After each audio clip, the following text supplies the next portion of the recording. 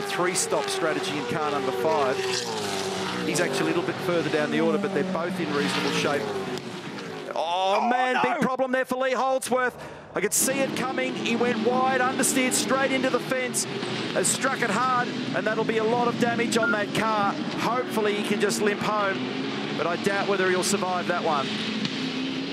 Broken front left suspension on that car. It's remarkable that the damage is visibly as little as it is. It brings to an end what's been a very solid weekend. He can't even turn it, can't get it through. Such is the damage.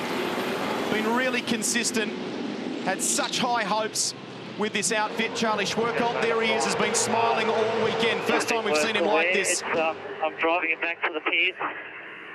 Got, um, I don't know whether the damage is in the front left, I think, so I don't think there's too much damage in the rear. I'm not sure.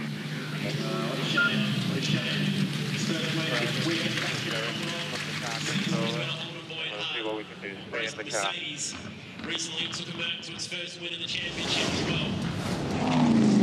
Here it is again in replay. He was well wide of the line and there was just no way he could redeem that.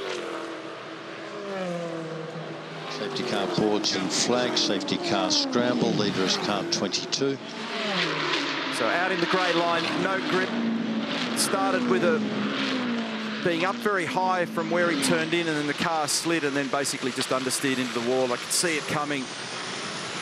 actually, the Volvo, uh, sorry, the um, Nissan behind him kind of looked at it as well.